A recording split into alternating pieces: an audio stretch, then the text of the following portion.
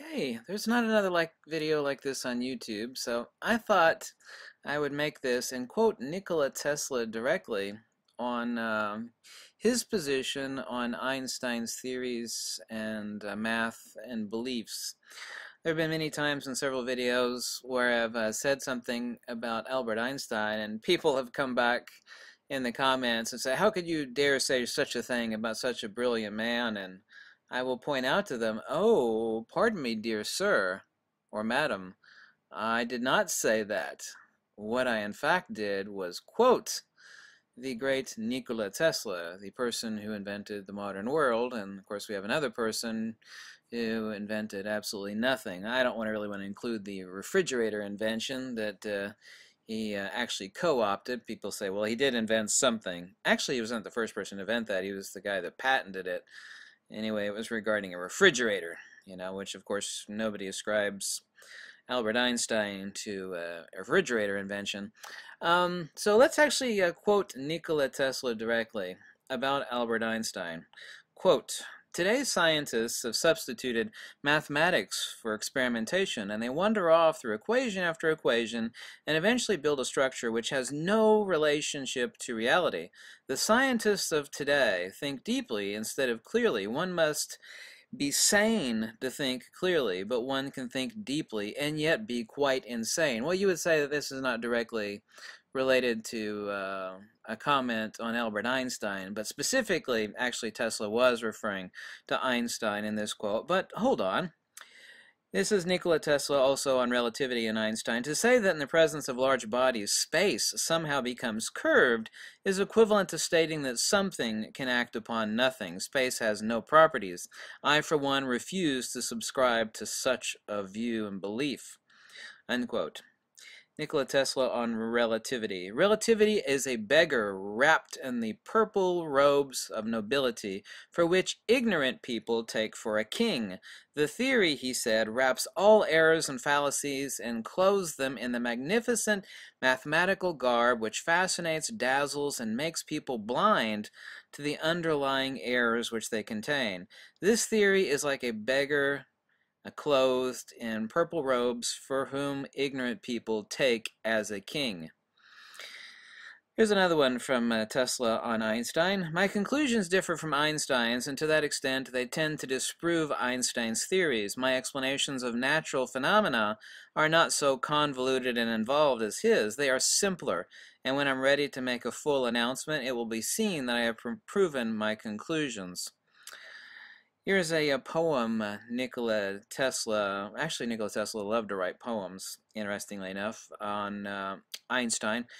And this is uh, Nikola Tesla's poem dedicated to the fool, Albert Einstein. Too bad, Sir Isaac Newton, they dimmed your renown and turned your great science upside down. Now a long-haired crank Einstein, a long-haired crank, a long-haired crank, Einstein by name, puts on your high teachings are all the blame. He says matter and forces are transmutable and wrong the laws that you thought were immutable. I am much too ignorant, my son, for grasping crazy schemes so finely spun.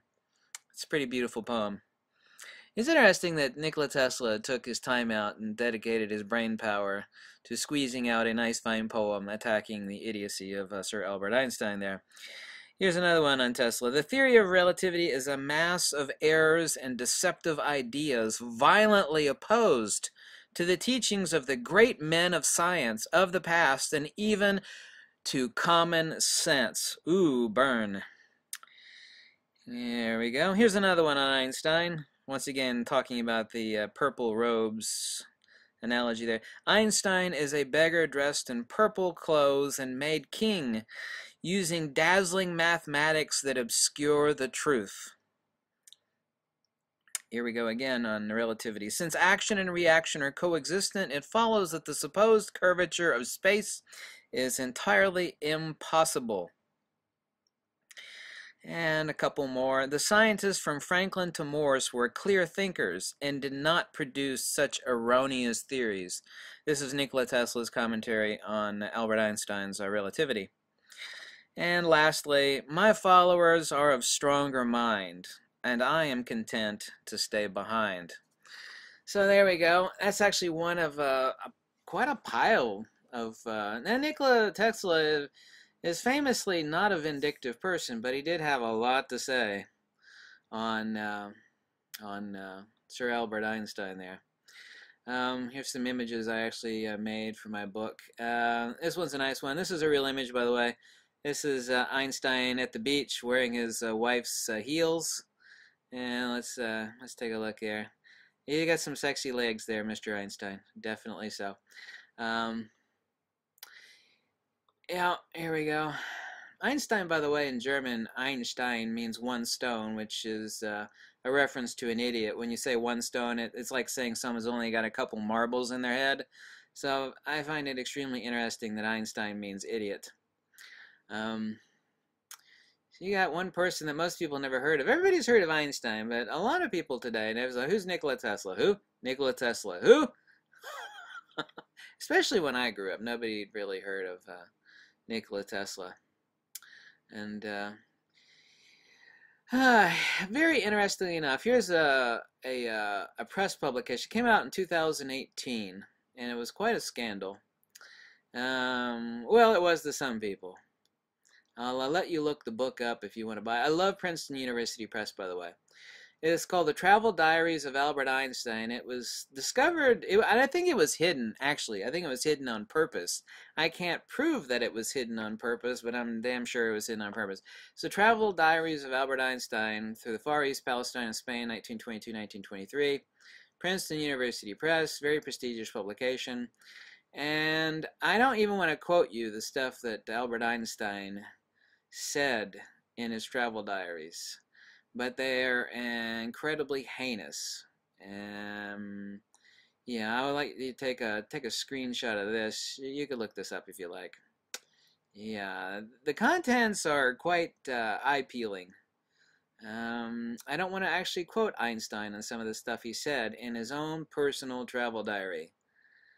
Yeah, they're pretty heinous. Yeah. Yeah, so we got a guy that invented nothing. He's got a crazy crackpot theory. It's uh, been mostly disproven. Space has absolutely no properties. It only has attributes. The, the fundamental error of relativity is it is atomistic, and it tries to reify space and time as things, which they're not. Time is not a thing, it's measure magnitudes.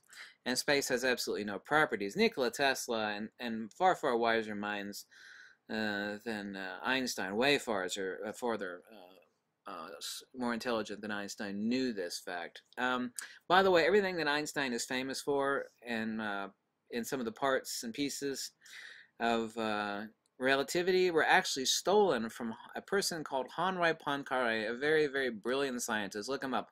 Henri Poincaré. He actually got E equals mc squared from Henri Poincaré, and uh, yeah, everything that you uh, attribute to Einstein and his genius actually did not come from Einstein. Either came from his wife or it was stolen verbatim, word for word, from the works of Henri Poincaré. This is not my opinion, it's a fact. Um, check this book out. Uh, I got a copy of it that was loaned to me. I had to return it. You know, it's pretty boring. It's called The Travel Diaries of Albert Einstein, and it's pretty heinous. Yeah. It's Einstein in his own words. I bet he never thought people would get a hold of that book. But, uh, yep, this is the uh, brilliant man that uh, we were all taught was uh, such a genius. You know, Einstein, Einstein. If you actually look at the school textbooks today, and back even when I was in school, it's there's like a page or a page and a half or two pages dedicated to Einstein, and you'd be lucky if there's one sentence dedicated to uh, Nikola Tesla. Lucky maybe a paragraph at most, but definitely Einstein gets a page or two. So that's kind of a problem. You, everything you're using today is based upon uh, many of the countless, endless inventions of Nikola Tesla. Not uh, fuzzy-haired crackpot. Quote unquote Nikola Tesla, fuzzy-haired crackpot. That's my favorite one. Fuzzy-haired crackpot. I love it when I say that. People say, "Why are you attacking Einstein?" It's like I'm not. I'm actually quoting Nikola Tesla on Einstein oh, that's when they shut up. It's like, oh no, you're, oh, so you're quoting Nikola Tesla about Einstein. Oh, well, that's different. It's like, yeah, yeah, yeah, yeah, yeah. When I said Einstein was a fuzzy-haired crackpot and an idiot, what I'm actually doing is quoting Nikola Tesla himself. Yeah, the man, the legend. Yeah, the real inventor of the modern world. Okay?